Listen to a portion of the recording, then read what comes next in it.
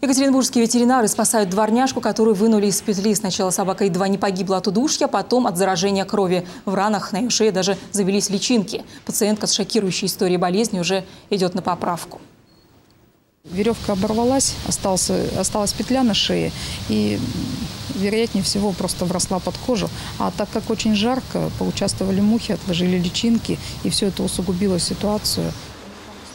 Как рассказывают волонтеры, собака, ее в клинике зовут просто малышкой, бродяжничает несколько лет. Врачи предполагают, что веревку на ее шее затянули еще в щенячьем возрасте. От постоянного ношения удавки у собаки началось нагноение, и она едва не погибла.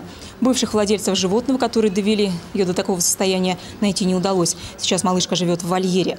Для полного выздоровления, говорят врачи, понадобится месяц и дорогостоящий курс лечения. Он стоит около 30 тысяч рублей. Таких денег у зоозащитников нет.